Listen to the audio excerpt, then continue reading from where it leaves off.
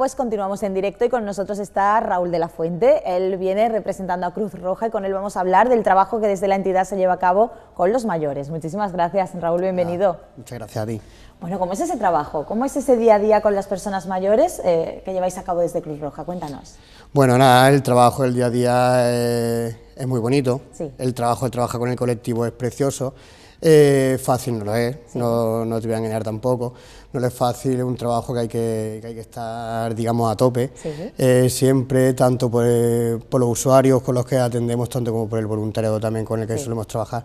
Es un trabajo que te, te, obliga a tener que estar a tope. Eh, cuando lo haces con gusto, es un trabajo que es fantástico, ya te digo, cansado de vez en cuando, pero, pero un trabajo que se hace muy bien, con mucho gusto.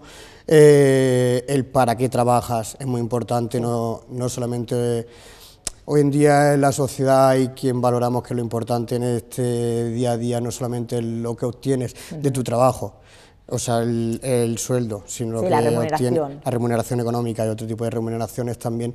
Eh, y para mí yo tengo muchísima, yo me siento una persona muy, muy rica en, en, esos aspectos, entonces cuando haces las cosas con gusto y te sientes, te sientes gratificado, la verdad que el trabajo se sobrelleva muchísimo, muchísimo mejor y, y con más ganas y gusto que al fin y al cabo las cosas también tienen que ser con un poquito de gusto para que sean sostenibles. Por supuesto. Sí que es cierto que tenéis un trabajo que es muy social, es muy de tú a tú, es muy directo y ahí también hay que tener vocación, porque claro, no es coger un teléfono, colgar y descolgar, no, es mucho más, trabajáis con personas y de manera directa, así que ahí hay que, hay que tener algo especial para llevarlo a cabo y desarrollarlo. Os digo, lo primero las ganas, la primera la gana, la gana y la motivación es lo más importante, luego es verdad que la entereza la, la va adquiriendo, también es como todo, nadie no llegamos a la profesión aprendido más. Este tipo de profesión creo que estás trabajando es directamente con las personas con problemas con situaciones complicadas para ellos. Tú también te puedes tener tus días también que pueden ser complicados. Eh, pero se va aprendiendo muchísimo. En el día a día es un trabajo que te va enseñando constantemente. Eh, vas, madurando también en, la, en cómo afronta las situaciones, cómo gestiona incluso las frustraciones de la población, porque tú estás gestionando también la frustración de la población muchas veces con, con sus problemas. Y un trabajo que lo que te digo, lo primero que hay que tener es motivación, ganas, fácil no lo es, pero luego lo vas adquiriendo, cuando tienes esa gana, esa motivación, que al fin y al cabo uno de los principales motores en nuestra vida, la motivación, eh, te vas desarrollando, vas aprendiendo, vas, vas viendo que que la asertividad que vas desarrollando es lo mejor que va, una de las mejores herramientas. La asertividad, no el contagio emocional, que es muy fácil también llegar a contagiarte emocionalmente, entonces también son habilidades que tienes que ir desarrollando. Porque sí es verdad que tienes que conocer la, problemática de la gente, entenderla, pero no contagiarte. Si tú te contagias, al fin y al cabo, estás contagiando toda la situación de ese, de ese aire de, o aura de de pena, problemática tal, entonces tú tienes que ser también un poquito un referente para la persona que te está contando sus problemas o que, está, o que pretende para salir de esa situación o tener alguna serie de, de recursos. Es lo que yo digo, el primer recurso pretendo ser yo, eh, que es con lo que se encuentre, que se encuentre lo primero con una sonrisa, con alguien que tenga ganas de preocuparse por su situación. Eh, entonces lo que te digo, las herramientas que vas adquiriendo día a día pues son fundamentales para ir desarrollando tu, tu trabajo con con esa, con esa entereza, con esa madurez y como te decía antes, con ese gusto también, para al fin y al cabo mantenerte, mantenerte a tope día a día. ¿Con qué os encontráis vosotros? ¿Cómo es esa primera toma de contacto con los mayores y cómo vais viendo que evolucionan formando parte de vuestros proyectos? Bueno, hay mucha, mucha tipología de, situaciones con las que nosotros nos, encontramos, tanto por temas de soledad, eh, problemas económicos, problemas de autoestima, de autonomía. Sí. Entonces son muchos problemas los que nos solemos encontrar, pero sí, sobre todo problemas de autonomía, problemas de autoestima, eh, depresiones, son las situaciones que más nos solemos, nos solemos encontrar. Por incluso la soledad, cuando hablamos de soledad, que es uno de los mayores eh, eh, indicadores de, depresión en personas mayores, creemos que es por situaciones de soledad.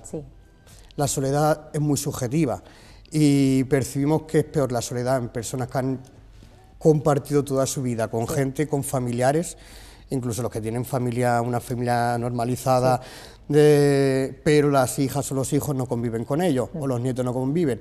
Entonces la sensación de soledad es mucho mayor, que la persona que ha estado toda la vida como se le dice, persona soltera, que hace toda la vida viviendo sola, pues la sensación de soledad es mucho menor.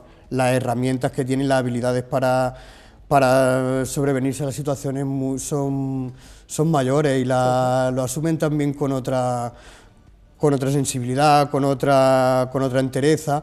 Pero las personas que han estado, que han tenido toda la familia durante toda la vida y ahora se ven que están solas para, para, ellas, como que tú digas, pues si tienes familia, pues si tienes tú, pero ya te digo, la sensación de soledad es muy subjetiva y cada uno la vive de una manera. La vive de una manera. Entonces hay que entender cómo, cómo percibe cada uno también su situación de soledad. Lo que para ti puede ser la mayor sensación de soledad, para mí puede ser una situación normalizada. Entonces hay que entender cuál es la situación que, percibe cada persona. Por eso hay que tener esa, escucha activa, esa escucha sin prejuicios. Y personalizada también, porque claro, por lo que estás diciendo es que no existe eh, algo que sea igual para todo el mundo, sino que tenéis que trabajar con cada persona y cada persona es completamente diferente a otra. Exactamente, exactamente, tienes que, valorarlo también, incluso para luego el momento de poner recursos, porque claro, ojalá nosotros pudiéramos tener todos los recursos de los cuales necesitáramos para para sobrevenir todas esas situaciones, ¿no? Pero entonces pues también hay que priorizar, también hay que ver también qué situaciones son un poquito más urgentes que otras. Eh, trabajamos sobre todo principalmente con voluntariado, voluntarios no hay suficiente. Siempre hacen falta. Siempre hacen falta, muchísimo, muchísimo, ya te digo, en función de más voluntariado, pues más posibilidad tendríamos de, de hacer. Entonces, como yo digo, mm, a más voluntariado, mucho más situaciones de este tipo podemos atender y podemos solventar, podemos solventar, al fin y al cabo. Un poco voluntariado tenemos que ingeniárnosla, y sacar a ver de la verdad que actividades, no sé muchas veces cómo, cómo hacerlas para pretender llegar al máximo de sitios, pero claro, es un colectivo que también está bastante, bastante silenciado, la soledad se, percibe, se vive en casa, eh, con la depresión yo donde más me suelo quedar en el sofá, detrás de un mando de televisión, y ahí paso mi, soledad. Entonces la población en general no suele identificar ni siquiera esa situación, que una de las cosas de las que nosotros dentro del Departamento de Personas Mayores pretendemos también es la visibilización de este colectivo, de esas situaciones, que hay mucho más de lo que, de lo que somos conscientes, porque esas personas están detrás de una puerta, no las tenemos, no las tenemos en la calle que están demandando, están pidiendo, ni están en servicios sociales, la mayoría de ellos demandando recursos, están en su domicilio. Entonces, sobre todo hay que visibilizarlo, eh, esa situación para que la población en general nos demos cuenta de esa problemática tan grande que estamos viviendo y cada vez más, cada vez más una sociedad que cada vez más nos dedicamos redes sociales, informática, gente mayor que hoy en día no maneja tampoco estas nuevas tecnologías, también se ven más apartados un poquito de, esta sociedad, la que no sepa utilizar un teléfono móvil. Parece que está ya fuera del todo de... Eh, entonces, pues ya te digo, aparte no solamente aportar los recursos necesarios para fomentar la, la autonomía y la autoestima de estas personas, sino pues poder visibilizar esta situación que está tan, tan oculta. ¿Cómo es este proyecto que tenéis vosotros? Bueno, tenéis distintos proyectos dentro de este trabajo y dentro del Departamento de Trabajo con Personas Mayores, pero ¿cómo es? ¿Cómo son esos distintos proyectos? ¿Cómo, cómo llegáis a ellos y cómo se desarrollan? Pues mira, a mí me gusta un momento de cambio. estamos cambiando de, venir de una serie de proyectos un poquito más pequeñitos que atendían más actividades más, más específicas y problemáticas más específicas a algunos un poquito más, más general, eh, donde es verdad que tengan cabida no no situaciones tan específicas, sino atenciones más, más generales. Y la verdad que, que vamos a, yo creo que vamos a salir, salir ganando con este pequeño cambio. Pero al fin y al cabo venimos de hacer una serie de actividades que vamos a seguir desarrollando las mismas, un poquito, es cambiar un poquito esa aura eh, o esa nomenclatura. Eh, pues venimos de, de, unos proyectos, sobre todo te voy a hablar más de actividades, más que propio proyecto. Actividades, pues hacemos muchos muchos talleres de distintas tipologías talleres tanto de gimnasia mental, como le llamamos, porque para estar en forma no solamente hay que hacer abdominales o flexiones o salir a dar un paseo por el, por el, campo, también hay que mantener la, la, mente, activa, hay que hacer esa, esa, esa, gimnasia constantemente, porque incluso nosotros, yo no sé tú, pero a mí me quita el teléfono y yo tengo que hacer una división y no tengo ni idea. Bueno, división, espérate que la resta no sea muy complicada, que si no, también. A ver dónde voy, entonces dejamos de practicar todas estas cosas, dejamos de ejercitar la mente sí es verdad. y nos vamos quedando, nos va mermando nuestras capacidades, entonces parece que como somos mayores pues lo echamos a la edad. Sí. O recordar un teléfono, ¿sabes? Que ahora me estoy dando cuenta que hay muchas cosas que necesito el teléfono para, para recordarlo. Exactamente, ya como lo tenemos por contacto nos olvidamos ya de... Sí que es verdad. Entonces son habilidades que dejamos de, de, desarrollarlas porque no las utilizamos. Y en personas mayores pues ya es que es que como ya soy mayor, muchas veces no es que sea la excusa, sino que justificamos esa situación porque soy mayor. Como decíamos antes, si no tenemos motivación, cualquier cosa va a ser excusa. Entonces, si queremos aprender, si queremos, pues hay que, hay que lanzarse. Y es verdad que, que cuesta, pero bueno. Eh, con eso también es muy importante que vayamos haciendo nuestra gimnasia, nuestra, la vayamos mantenemos activa, por eso es verdad que hoy en día las nuevas tecnologías incluso vienen muy bien también para esas cabezas para ir manteniéndolas activas. Pero bueno, aparte de esos talleres, pues también tenemos talleres mm, para cuidadoras, personas cuidadoras también que están, cuidadoras informales que tanto propios matrimonios que se encargan de hacer sus cuidados entre ellos, como hijas o hijos eh, por desgracia todavía son la mayoría las hijas las que todavía están al cuidado de los familiares. Todavía tenemos ahí una, un camino que aunque parezca que no, pero tenemos un largo camino todavía por, recorrer. Em, ya te digo, los talleres pues, pueden ser de, distintas tipologías, pueden ser de costura, eh, de gimnasia, gimnasia también para mantener un poquito también nuestro cuerpo activo.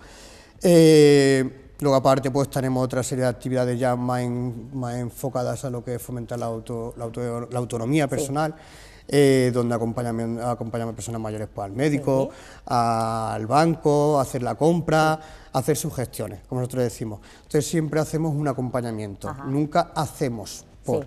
Porque si entendemos que si hacemos por ellos, estamos fomentando una dependencia.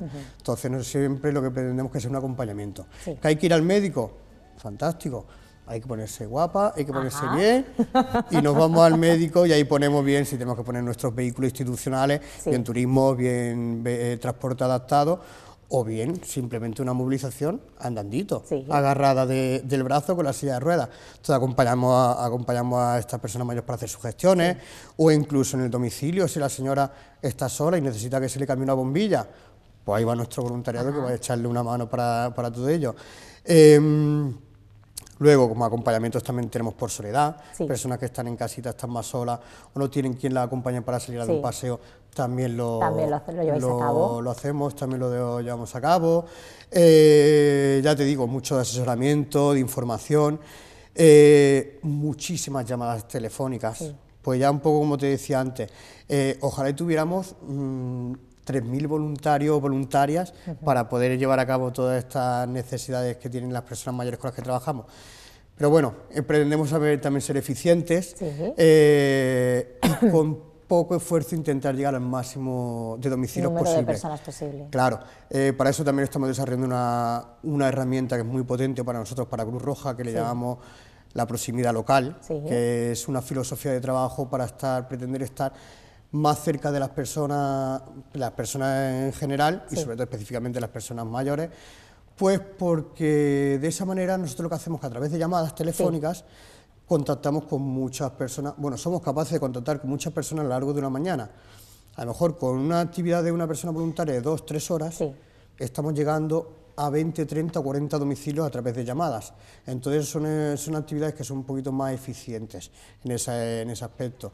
Llegamos a muchos más domicilios, donde escuchamos sus necesidades, donde nos pueden contar cómo se encuentran, si se encuentran bien, si no se encuentran también hoy, eh, si necesitan ir al médico la semana que, viene, necesitan un apoyo, lo que haga falta, o simplemente saber cómo se encuentran, como nosotros decimos, hacerle el seguimiento. Eh, Luego pues tenemos más proyectos que son los de las teleasistencias, teleasistencia domiciliaria y teleasistencia móvil, que es a través de un terminal móvil, que es para personas que son más, autónomas. Eh, el proyecto de LOPE, que es para personas con deterioro cognitivo, es un localizador, sobre todo es muy bueno para los familiares, donde siempre van a tener localizado, identificado dónde está el terminal, dónde está el familiar. Y bueno, proyecto de, de, buen trato también, como nosotros lo llamamos, pues pretendemos demostrar cuál es un trato adecuado y por consecuencia, cuando sabemos que no es un trato adecuado, pues ya sabríamos que no sería un trato adecuado.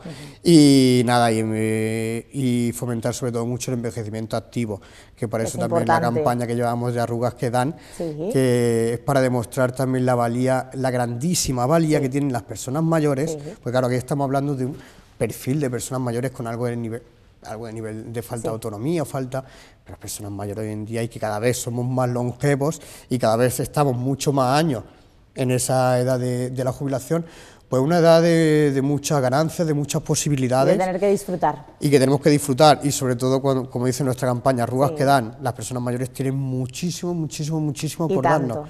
Y sobre todo, ya digo como antes, como actividades voluntarias, están dando un resultado fantástico. las personas mayores.